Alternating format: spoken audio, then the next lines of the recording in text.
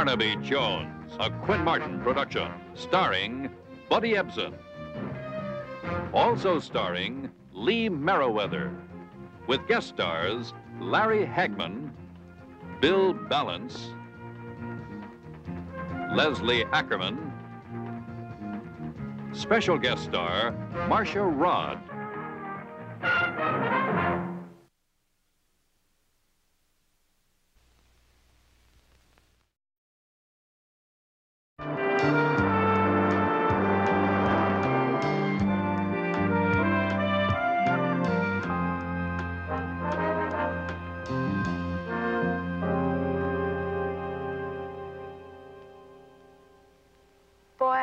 Stuffed after that lunch. If I don't get out of this wheelchair soon, Miss Hollister, I'm going to blow up like a balloon. All I do is eat and sleep. I'm going to talk to Dr. Rickers about that. I think it's time we started you on a physical therapy program. I bet I put on 10 pounds. Start you on a diet as soon as you're strong enough. Be your old slender self in no time.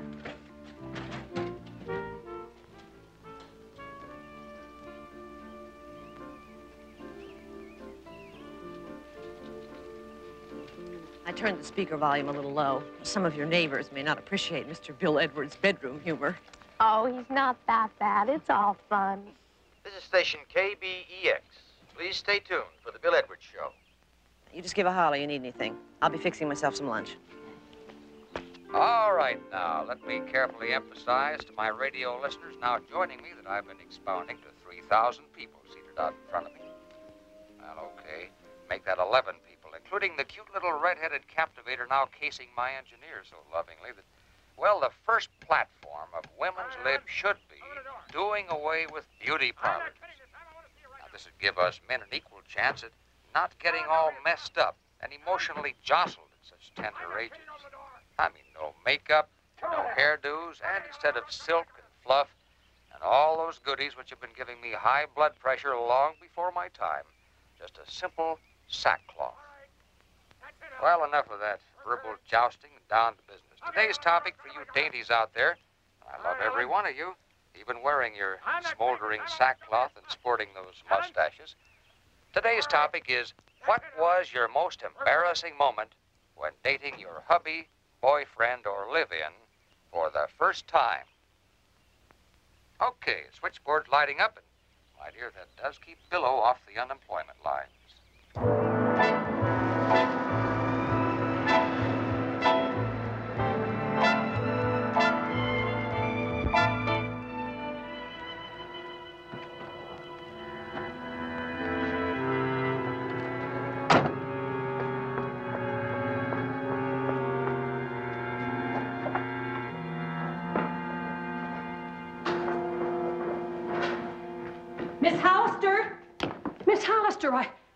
Believe what happened.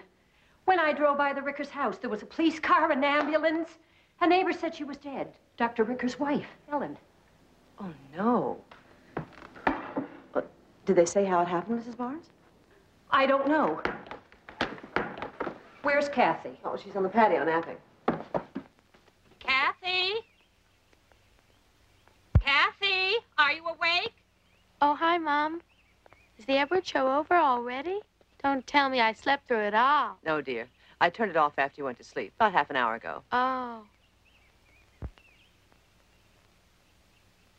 Is something the matter, Ma? What's wrong? Dr. Rickers' wife, Ellen. She's dead.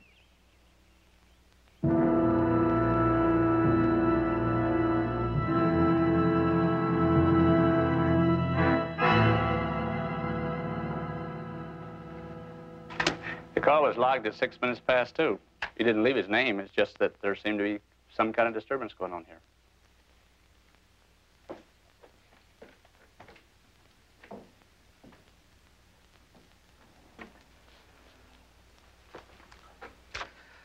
You been able to reach Dr. Rickers?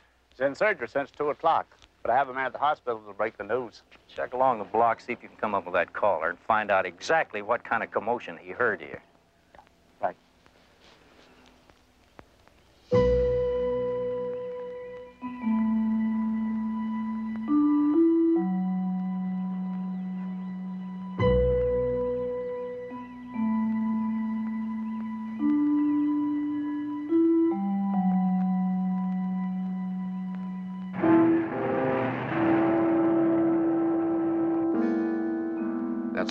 Police have, at least up to the time I asked for their report. That's all they have. An eyewitness who saw Dr. Melford arguing with the victim shortly before the police were called about a disturbance in the house? Yeah, and throw in the fact that said eyewitness saw Dr. Melford visit that house other times in the past, and you, uh, you can't blame Lieutenant Biddle for holding him on suspicion of murder.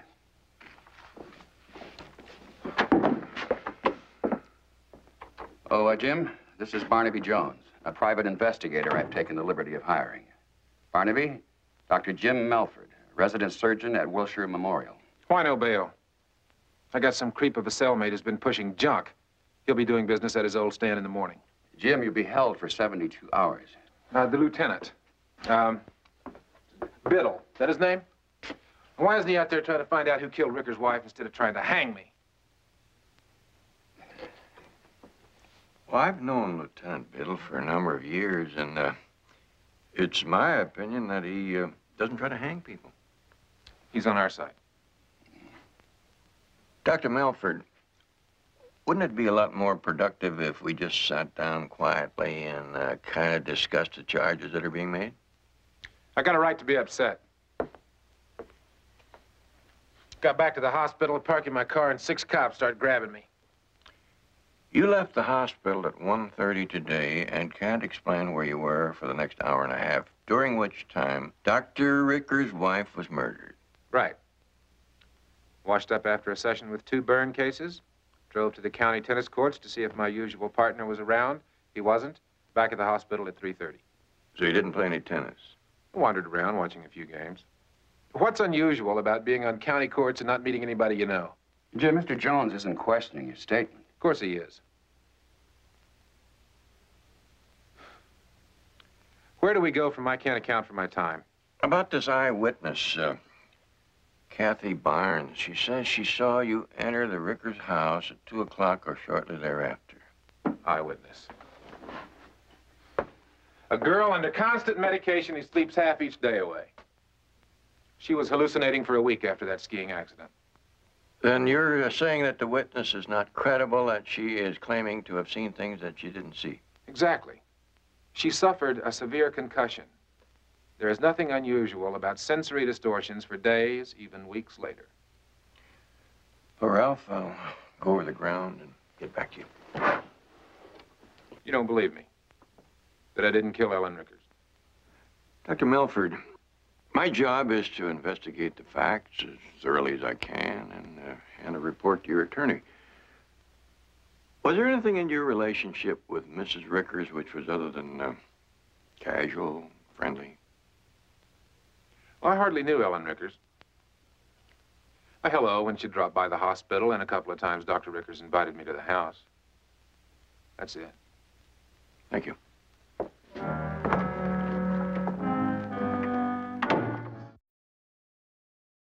Well, I know it was 2 o'clock because I was listening to the radio talk show and it had just come on. That's quite a distance away, Kathy. You had no trouble recognizing the man you saw as Dr. Melford?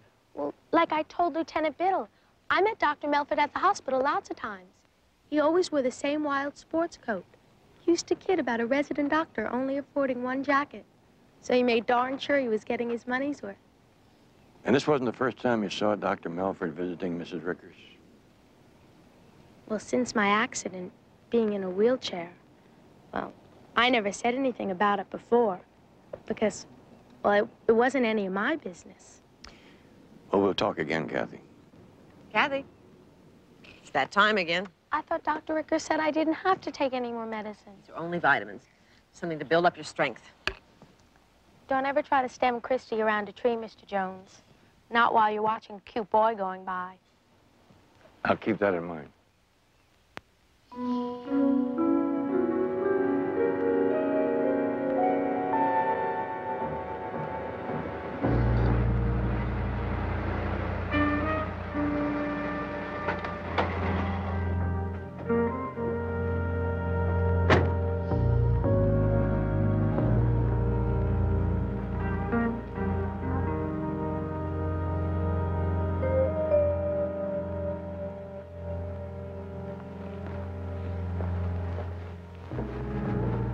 Be a few moments.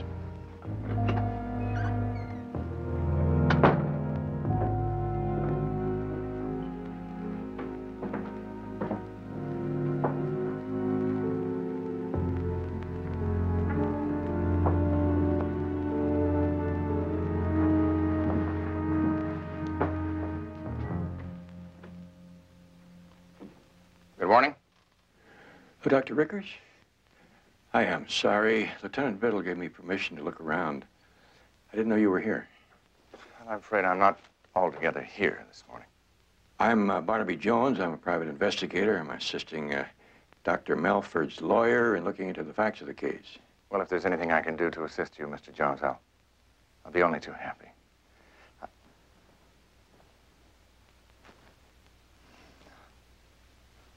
Jim Melford did not kill my wife. Well, Doctor, maybe some other time. Uh... No, no, this should be cleared up as soon as possible.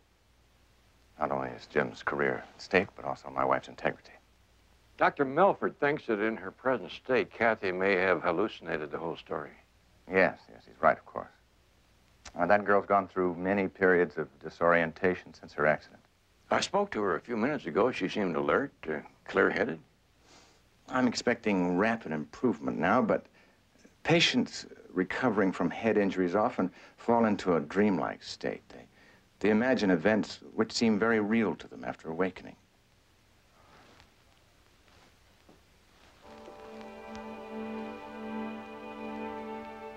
Ironic, isn't it? This picture was taken at the Elmwood Spa. I don't know how many times Ellen phoned me, pleading with me to join her. Maybe tomorrow, I'd say. The irony is, no one can guarantee our tomorrows. I won't bother you further, Doctor. Please accept my sympathy. Mr. Jones, I can assure you of one thing you'll find during the course of your investigation. Jim Melford is totally innocent of the charges against him. They'll have to look elsewhere for my wife's killer.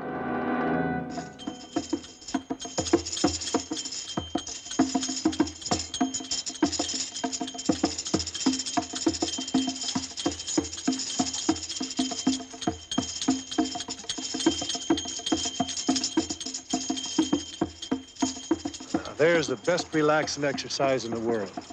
And uh, tones up the midriff, huh? It does much more. Try it sometimes, Mr. Jones. You'll feel that old spine tingling. Now, to get back to Mrs. Rickers, uh, she spent some time here. Uh, did you get to know her well?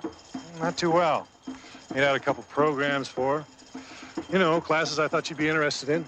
Never was. Shame she's dead. I just heard about it an hour ago. Some of the guests talking about it. You just heard about it an hour ago. It was in all the papers. Oh, I didn't see the papers. Been up in the high Sierras camping with my son. You know that boy? You know, uh, Mr. Sims, uh, what I'm trying to do is to uh, put together a picture of Mrs. Rickers' life, her friends. Uh, did she socialize much with the guests here? Socialize? Wouldn't say that. No, not at all. Just uh, went through the health program and kind of kept to herself.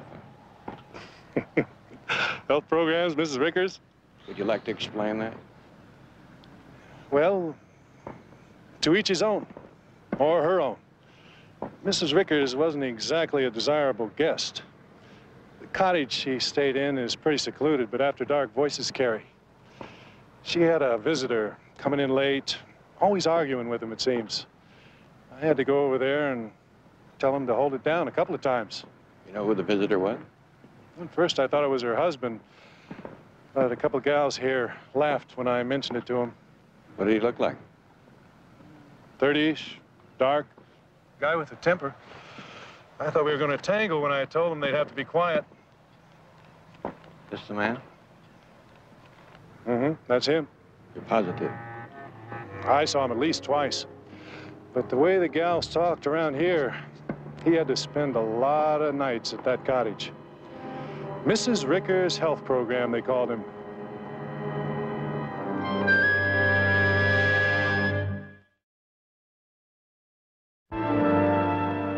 You're not only a liar, you're a fool. You're a fool for not telling your attorney about that relationship. And you're a fool for lying to the police. I was trying to protect her reputation. She was dead. And why give the newspapers a field day? Let me give you some sound advice. Call your attorney right now and tell him the truth. Wait, you're, you're still with us, right? Still on the case? For what purpose? I set out to find out if Ellen Rickers had a gentleman friend who might have been visiting her that day. I sure found him. But I didn't kill her. When I walked in, she was already dead. Lying on the floor. Yeah, that's right. I was at the house. It was a few minutes after two, so I guess Kathy Barnes did see me there, but I didn't pound on that door. I used a key, opened it, and walked in. As soon as I saw Ellen, I knew I couldn't do anything for her, I left. I mean, how could I have explained being at the house, having a key, visiting there at the very time I knew Dr. Rickers was operating? Are you aware that Kathy Barnes is not only saying that she saw you enter the house, but that she saw Ellen Rickers alive arguing with you? And that's been driving me crazy. That girl seeing me and Ellen together at the very time I went into the house. The only answer I can find is she imagined she saw Ellen alive. She saw you, but she hallucinated Ellen Rickers all at the same time? Mr. Jones, I loved Ellen. I didn't kill her. You didn't pound on the door? Why should I? I had a key. Where is the key? Threw it out the window while I was driving. I don't even remember where. It was an impulsive act. I wanted nothing to connect me with the Rickers house. Dr. Melford, how could you make so many mistakes on just one day? That key may have substantiated part of your story. Total panic. Pure and simple. How long had the affair been going on? Six months, maybe. We started meeting at the Rickers summer cottage at Owl Lake. But we felt that was dangerous, and we started meeting at the spa. Or at the Rickers house when we knew he would be in surgery.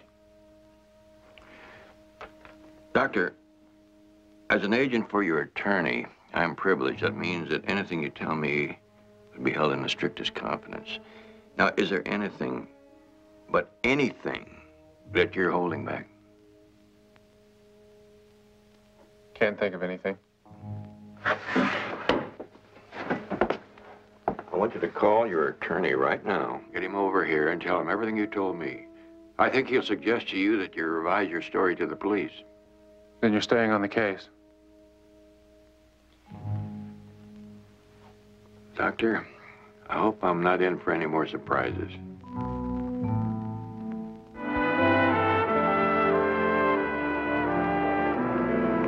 When you off, I want you to run a routine check on everybody connected. And Betty, if you have time, talk to some of Kathy's school friends. Let's get a fix on what the younger people think of her. Her credibility or flights of fancy? Melford is not a stupid man. He knows that Kathy says that she saw Ellen Rickers inside the house alive talking to him. Now, if that's true, why does he deny it? Why doesn't he just say, yes, he left Ellen in the house, still alive? Leaving the police with the problem of having to prove that she wasn't uh, killed later on by someone else. Exactly. Now, if Melford has finished lying, we've got to take a closer look at Kathy's story.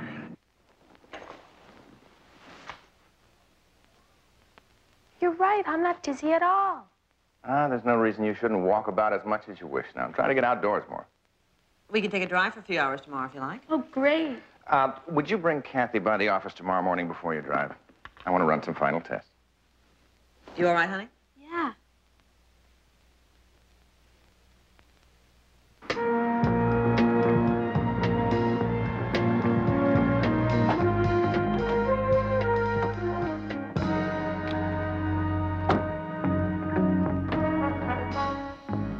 Mrs. Barnes returning from San Francisco? She'll be away just for the weekend. Dr. Rickers. Oh, Mr. Jones, are you making any headway in the case? I'm still going around asking people questions. Uh, Miss Hollister, I wonder if I might have a few words with Kathy. She's out back on the patio. Thank you. Doctor, just about everyone agrees that this case hinges on Kathy's credibility. I wonder if we could have a talk about her medical condition at your convenience. Well, I'm tied up today. Perhaps you could drop by my office tomorrow morning, say about 10? Surely. Thank you.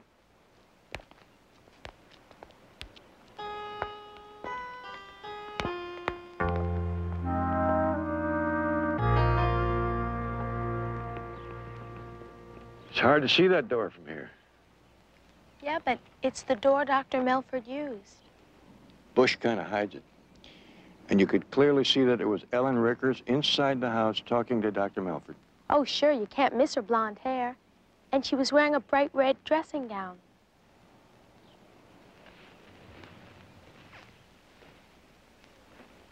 Getting your sea legs back, huh? Beyond the slopes come first snow.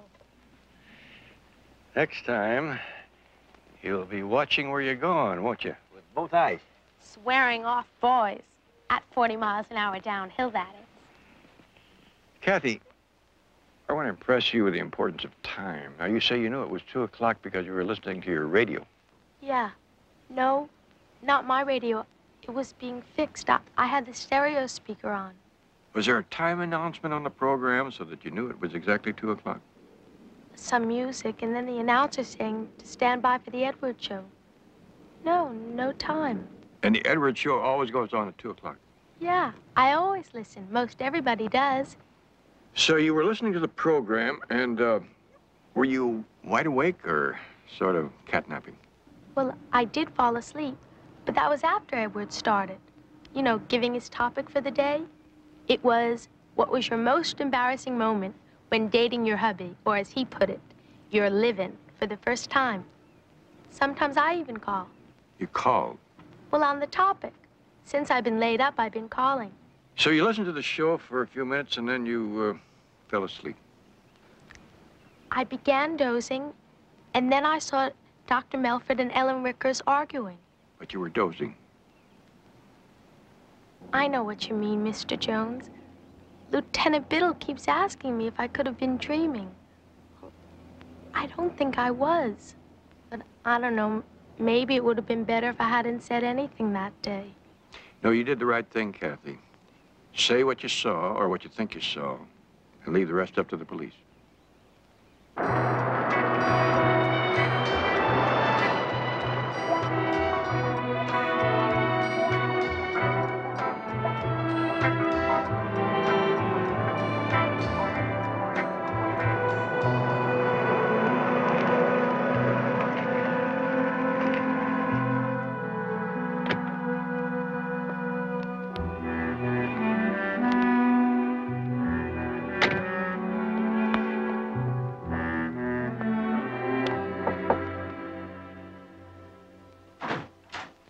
Held you up? Stopped off for a bottle of champagne. Oh? What do we celebrate? Look at that. Indicted for murder. Hmm. Home free. I'll be totally satisfied when Melford's sitting in a cell for the rest of his natural life. That was the most important part, wasn't it? Paying Melford back. I don't know which one I hate the most. That loudmouth, arrogant, Ellen flaunting her purse strings. Hey. Celebration, remember? Cheers, all that. Or maybe having you is the most important thing. Now that I'll buy.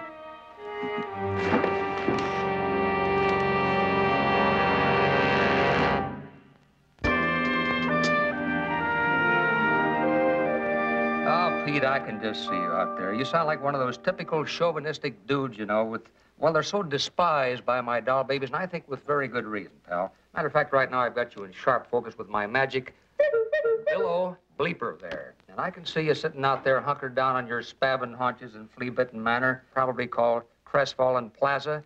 I can see you out there right now with your phone in one hand and plucking pensively at your prehensile asparagus-like toes with the other. I have to kind of defend my doll babies out there, but stay tuned, chums, for five minutes of late news, then I'll be back with further acrimonious rebuttal, defending my ladies. Whew. Well, I'm not the neatest person in the world. One of my ex-wives is so fond of nagging me. Add that to the fact, Mrs. Jones, that I have a memory like a neurotic hamster. Oh, here we are. And my life is a constant 24-hour whirl of anxious desperation. Well, I see you certainly have your share of fan mail. I was hoping you noticed, my dear. By the way, do you ever listen to my shows? Almost all the time. Well, thank you, my dear, for that charitable falsehood. now, let's see. Wednesday, the 19th, Mr. Jones? Your afternoon show. Well, here we are. Now, no delay of program. Could have been a few seconds, no more than that. How long after your program starts do you usually introduce the topic of the day? Oh, I would say about four or five minutes. I announce the topic as soon as possible. Just give my callers time to gather their scattered wits. And incidentally, that was the other woman day, not quite the juicy, succulent topic I thought it would be. Then you would say that uh, no longer than five minutes after the program starts. The other woman? Yeah, here it is. Were you ever that other woman in a divorce case? Well, I was under the impression that the topic of the day on that particular day was uh, what was your most embarrassing moment on your first date with your husband or boyfriend? No, let's see. That's an oldie. Here we are. By the way, Mr. Jones, you've got me throbbing uh, with curiosity. When this case becomes, uh, well, let's say, unconfidential, I'd love to hear all about it, full details. Here it is, the 26th of last month. Topic What was your most embarrassing moment while dating your hubby, boyfriend, or live in the very first time? The 26th of last month? All right here. Feel free to make notes. And by the way, I better check on the calls coming in. I'll see you later. Thank you. Well, if Kathy was confused about the topic of the show, doesn't that make you doubt her whole story? She reminds me of a little girl I met in a spelling bee once. She was so charming that even when she spelled the words wrong, she had the judge believing her.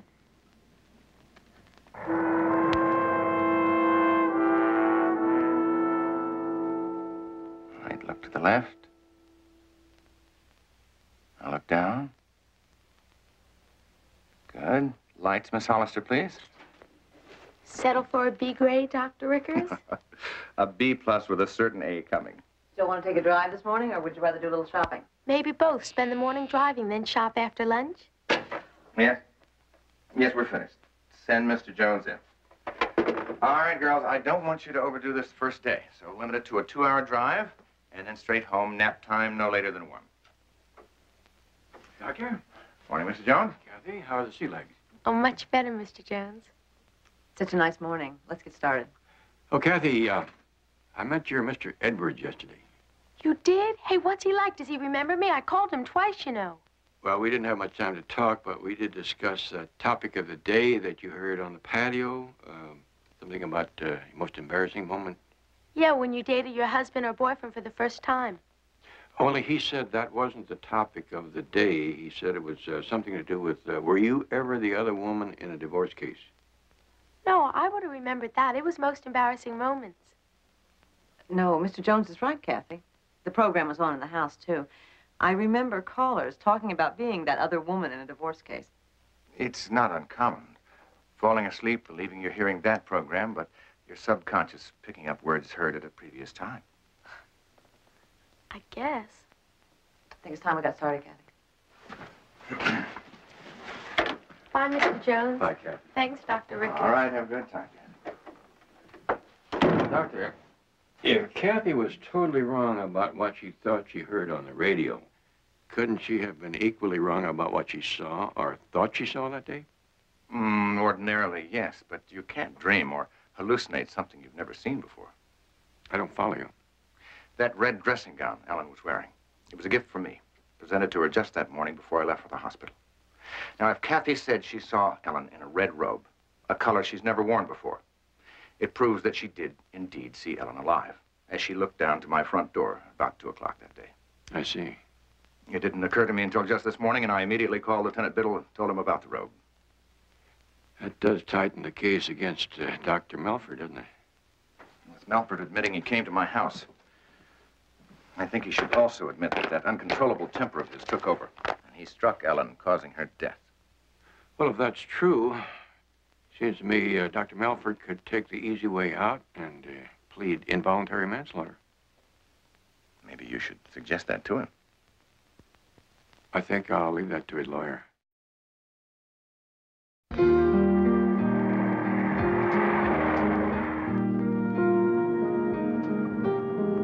Very quiet, Kathy. Thinking about Mr. Jones. Something he said about the time of day being so important. And? Well, I didn't think about it too much before, but that day was kind of jumbled up for me. For instance, do you remember when you woke me up for lunch and I wasn't hungry, as though it was too soon after breakfast? Oh, having a lesser appetite isn't unusual. But when you wheeled me out to the patio, it was 2 o'clock, and I woke up at 2.30. That's only a half hour sleep. I mean, on other days after taking my medicine, I'd feel groggy if I didn't sleep at least an hour. You're regaining your full strength now. You need less sleep. But you see, time again. I'm getting worried about being so positive of things that day. I mean, if things seem mixed up to me now, thinking back, maybe I was dreaming I saw Mrs. Rickers alive talking to Dr. Melford. I'm sure you weren't dreaming. We'll make a stop ahead. I have to call Dr. Rickers. Something I forgot to tell him this morning. Yes? Yes, Marion.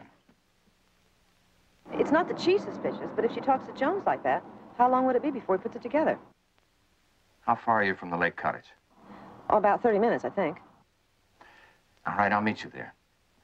Kathy and her mother have both been guests before, so she won't think it unusual my suggesting you spend a day at the lake.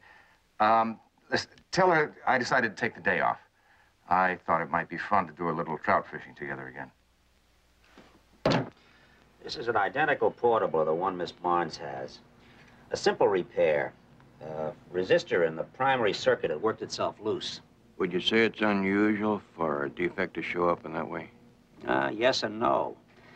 What was unusual, I found the warranty seal broken when I opened it up. Strange, because I delivered it to the house just about a week ago. It was new, in perfect working order. Who brought it in for repair? I don't know her name. A nurse. She brought it in and picked it up. That stereo system that Mrs. Barnes has in her house, did you install that? Oh, yes. I know the family well. I've been doing business with them for years. Look here. This is the model they bought just about a year ago. It's very fine equipment. Plays cassette tapes. Records and plays back. So the tapes could be heard through every speaker in the house, including the one on the patio. Right. Mind-boggling. Oh, it's a common system today. The cassette feeds through the receiver and out to the speakers. I was thinking of something else, Mr. Sue. And the next company Rickers formed went broke just last year. You know, I sensed from the broker that uh, Mrs. Rickers was tired of bailing her husband out from all these flyers he's been taking. And what have we got? A ne'er-do-well and a wealthy woman. Motive is there. Add on to that the sudden failure of Kathy's radio, then uh, Nurse Hollister's convenient correcting of Kathy on the talk show topic. And Kathy confined to intensive care on the 26th, the day of the embarrassing moment topic. And the hospital says they do not have radios in intensive care. Well, if she didn't hear it, that proves she wasn't dreaming. But only Kathy can tell us if she heard a radio that day. Barnaby, you said she'd be home by 1. It's almost 1.30. Let's make a phone call.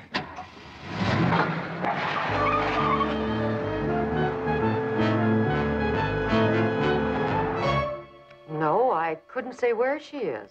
Well, I'm just an old friend of Marion's. She told me to give her a buzz if I ever happen in town. I wish I could be more of a help. She did phone in a while back to talk to Dr. Rickers, but I have no idea where she was calling from. Well, do you think Dr. Rickers might have some idea? The doctor's out. He canceled all his appointments and left the office right after he talked to Nurse Hollister. Well, I, I do thank you very much. I appreciate it. I heard. Now, what kind of a phone call would cause Dr. Rickers to cancel all his appointments and rush out? And so any of you uh, hauntingly lovely women who might have any piercing, penetrating idea on what's the dirtiest trick your man ever played on you, you just tell me, your secret admirer, all about it, my dear. Hey, chums, remember that dear little youngster who called in, Kathy?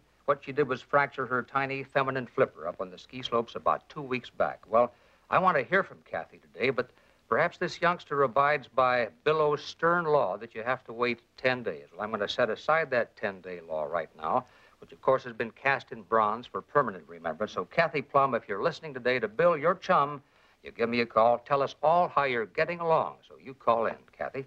We'll be waiting for you right now. Mr. Jones, maybe I could be of more help to you if I knew myself what was going on. Trust me that I don't want to trigger somebody who may be with Kathy into doing something desperate. And trust me that I'll fill you in on the whole story sometime when you're my guest at the steakhouse of your choice. With this lovely lady adorning tableside, I hope. Fighting off your fan club. What a spiffy daughter-in-law you have, Mr. Jones. May I suggest that you maintain a close, vigilant watch?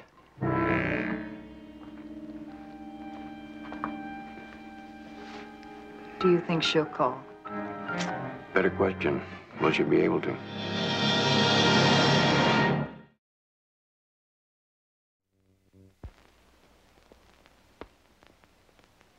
I don't see how we can prevent Jones from talking to her. We can't. Our answer is to stop Kathy from questioning the time that day. To prove to her that time and events become distorted while under medication. I think the more we talk to her about that I day, have to talk to her. I'll examine her arm when she wakes up, be dissatisfied with the healing, and put her on a drug program. Yeah, she'll be mildly hallucinating even before she goes to sleep tonight. But that means her credibility will really be questioned. Wouldn't Melford go free? Highly doubtful. As I told Jones, no one can imagine something they've never seen before. That little touch of mine. Buying Ellen that red robe. Well, enough of that jousting. All right, now, I'm gonna wait for my next caller. And, you know, I still haven't heard from my skiing chum who broke that lovely arm of hers, fending off the panting hordes, admiring her triangular slalom up there on the ski slopes. Where are you, Kathy Plum? This is Billo, breaking my 10-day rule to hear your dulcet tones telling my 40 million listeners how you're coming along. Well, listen, by the way, you know, I'm going to remind those 80 million listeners right now to tell me this afternoon what's the dirtiest trick that your man ever played on you. Okay, I think I've got a live one here. Stand by. Here we go. My next caller with a well-justified beef on her nimble brain calls herself Hi, Bill. This is Kathy. Kathy, my dear girl. Are you cheating on your chum, Bill? I mean, here it is 15 minutes into the show, and I thought sure you'd be my very first caller. I tuned in late. I'm sorry. I just heard you say I could call. Forgive you this time, sweetheart. By the way, I'm now switching on my magic viewer. Aha! You're gonna have to clamber down off the lap of that ski bum, honey. Dude who picked you up this afternoon up there and act with a little more demure decorum. If you will, okay? Oh, I'm nowhere near skiing country. My arm is still in a cast. Well, are you getting plenty of exercise otherwise, sweetheart? What are you doing today to keep that lullaby bod of yours in shape? Well, some fishing after I take my nap. Not much else. Fishing? You don't mean to tell Billow that you're out on somebody's swank yacht, perhaps calling ship to shore, do you? No, this is lake fishing from a swank rowboat. Oh, Kathy Plum, we're going to have to have a hasty station break here. We'll be right back. How far do you want me to go? Keep her talking, but don't press her for a location. Fishing on the lake. It has to be the Ricker Summer Cottage. It's on Cove Road, last cottage. It's right on the lake. That's 20 minutes from here. If you don't hear from me in 30 minutes, call Lieutenant Biddle. Right. Okay, Kathy, let's talk a little more about that fishing business. No, really, I've always been a fishing bug, especially for lake trout. Well, when my dad was alive, we used to go a. Who are you talking to? Radio station, the talk show. Who gave you permission to do that? What? You were told to go to bed. What's that talk about a lake? well, there I go again. Yelling at my patients for disobeying orders. It's a habit I've been trying to break myself of for ages. Forgive me, Kathy. But uh, I do insist upon that nap. Here's a little something that get you to sleep.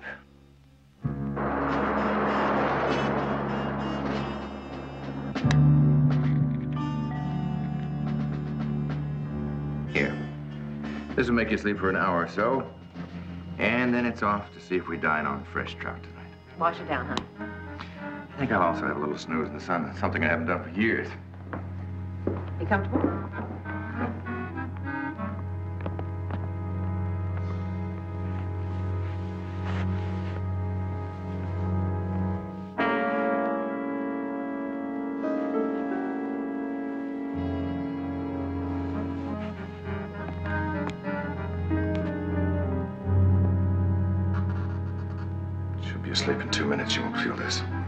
Effect will it have on her? She'll be docile. More dependent on you. She'll question her judgment. It'll be weeks before her self-confidence returns. By then, Jones will be long out of the picture.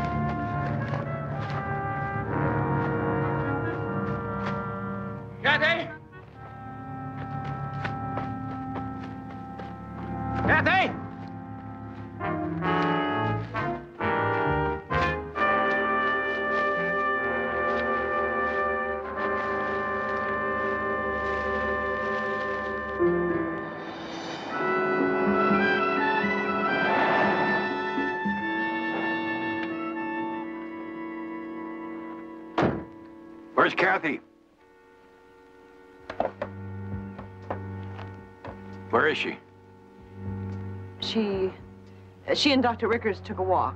Probably on the other side of the lake by now. Miss Hollister. I believe it'll all soon be proved that Kathy was drugged to the point she could no longer keep track of time. That you induced her to believe it was 2 o'clock that day when it was much earlier.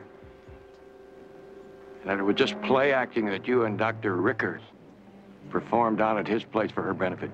I, I, don't, I don't know what you're talking about. How long do you suppose it'll be before the police trace where that identical sports coat was bought or where that blonde wig was bought? It's over, Miss Hollister. You can only make it worse. She ran away from us into the woods. Dr. Rickers went looking for her. Uh, Mr. Jones? He's carrying a gun.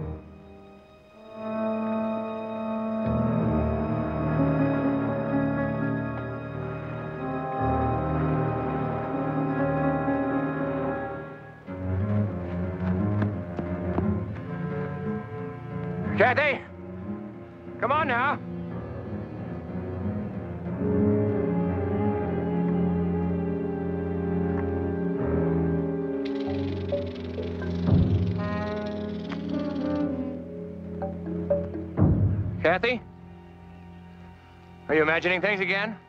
You've been ill, Kathy. Much more so than you've been told. Nurse Hollister and I are trying to help you.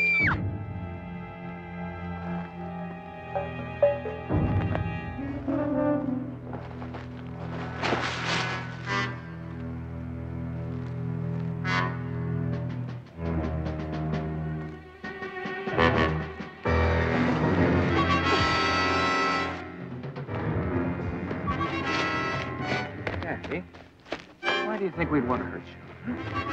I don't know. Now, let's go down by the lake and just have a nice quiet talk. Huh? No, please. Come on, down by the lake, just for talk. No, no, please, please don't. Rickers!